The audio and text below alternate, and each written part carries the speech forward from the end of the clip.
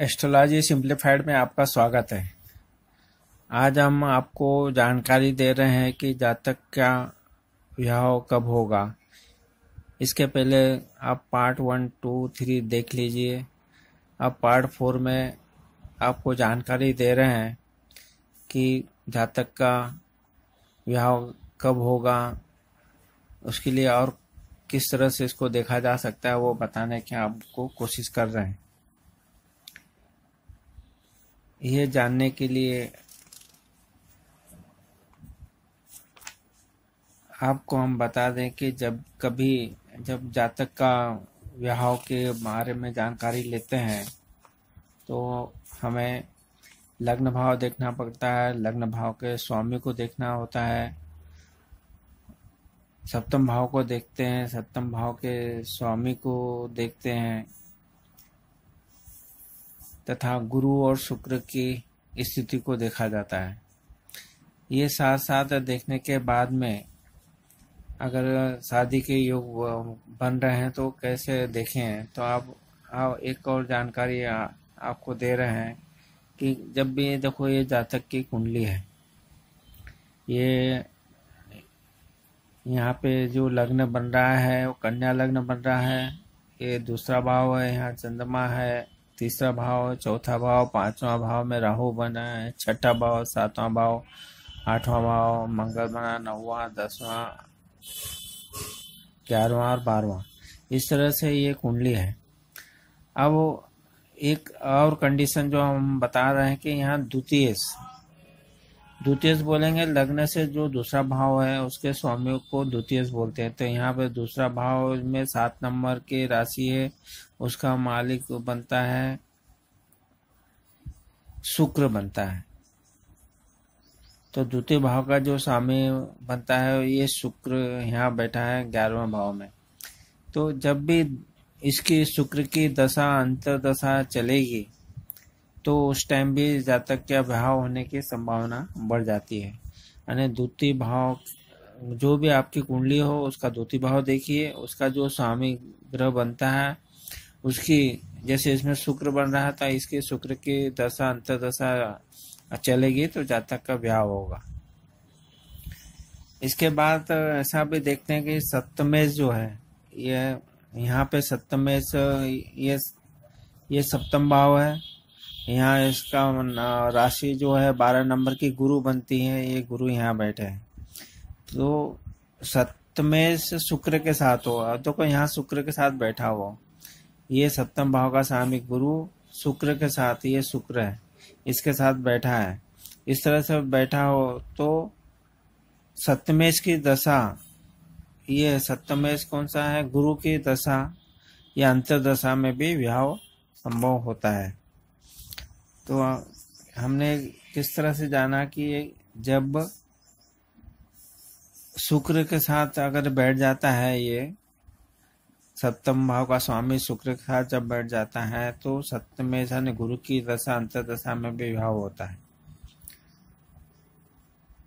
इस तरह से आप जान सकते हैं कि नौ में यहाँ पे एक यहाँ पे नवम भाव, एक, दो, तीन, चार, पाँच छ सात, आठ, नौ। ये नवम भाव मंगल बनता है। नवम भाव में मंगल नवम भाव यहाँ नवम भाव में जो राशि है वो शुक्र बनती है। तो नवमे से बोलते हैं उसको तो नवमे शुक्र यहाँ बैठा है, ग्यारह भाव में। जब इसकी दशा अंतर दशा चलती है, तब भी विवाह होने के योग बनते हैं। इसी प्रकार से यहाँ पे दसम भाव का दसवें देखेंगे तो एक, दो, तीन, चार, पाँच, छ, सात, आठ, नौ, दस। यहाँ दसम भाव में जो राशि बनी है, वो बुद्ध की राशि बनेगी और वो बुद्ध बैठा है यहाँ पे। तो इस तरह से जब दसम भाव के स्वामी की ये दशा या अंतर चलती है, तब भी विवाह संभव होता है। इसका मतलब है कि आपकी जो भी कुंडली है उसमें आप अपने लगने से गिनिए, दस दस नंबर तक जाइए। एक, दो, तीन, चार, पाँच छः सात, आठ, नौ, दस, ऐसा आपकी कुंडली में देखिए। और वहाँ जो भी राशि है, उसका स्वामी जो बनता है, उसकी अगर जैसे यहाँ बुद्ध बन रहा है, जब इसकी दशा अंतर दशा चलेगी तो इस जातक की शादी होगी। तो आपकी कुंडली में भी देखिए, दसम माह में जो राशि है, उसका जो स्वामी बनता है, अगर उसकी दशा अंतर दशा चल रही है, तब भी शादी के योग बन चुके हैं। इस तरह यह भी देखा गया कि सप्तमेश जो है, यहाँ सप्तमेश हम देखेंगे, ये बारह नंबर के जो राशि, ये सप्तम भाव है, इसका स्वामी को सप्तमेश बोलते हैं, वो गुरु है।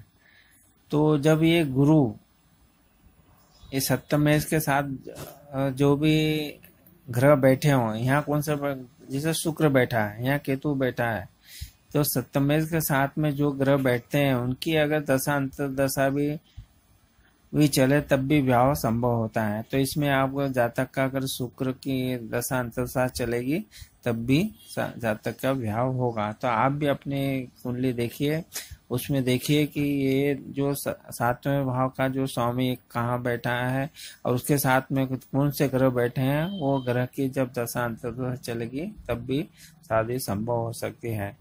ये जो भी हमने अभी चारों को पार्ट बताया है, इसमें वर और और कन्या दोनों के लिए ये परिस्थितियाँ अगर आपकी कुंडली में बन रही है तो जातक के विवाह होने की संभावना बन सकती है।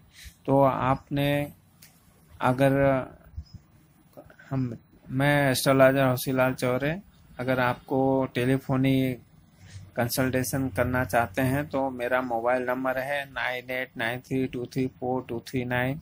आप, मामूली सी दक्षिणा के द्वारा ये जानकारी आप भी जानना चाहते हो और भी तो आप मुझसे टेलीफोनिक कंसल्टेशन कर सकते हैं।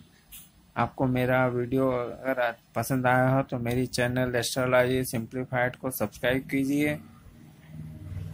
मेरी चैनल है एस्ट्रोलॉजी सिंप्लीफाइड और इसमें आप घंटी जो है उसको भी आप क्लिक कीजिए।